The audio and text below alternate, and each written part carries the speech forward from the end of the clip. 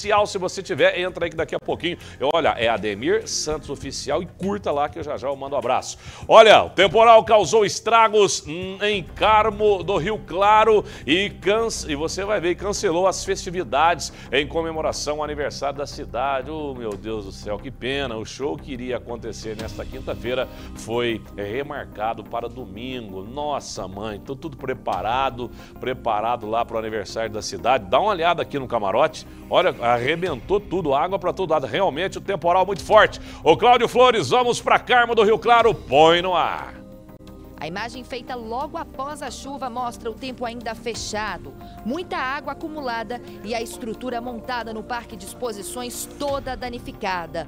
O temporal veio acompanhado com ventos fortes e causou estragos. Uma cena de destruição foi compartilhada nas redes sociais.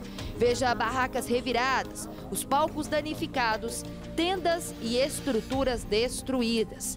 A chuva assustou os moradores e os organizadores da festa que acontece em comemoração aos 146 anos de Carmo do Rio Claro. O temporal também derrubou árvores pela cidade. Segundo a prefeitura, não houve feridos.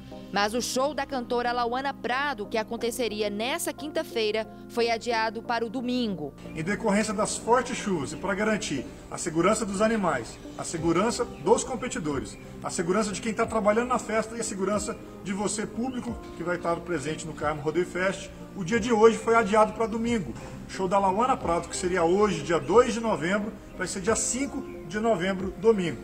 Uma força-tarefa foi montada para fazer os reparos no parque de exposições e pela cidade. A prefeitura informou que trabalha para receber o público nesta sexta-feira com o show de Bruno e Barreto.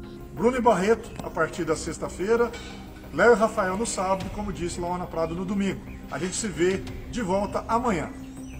Muito bem, então você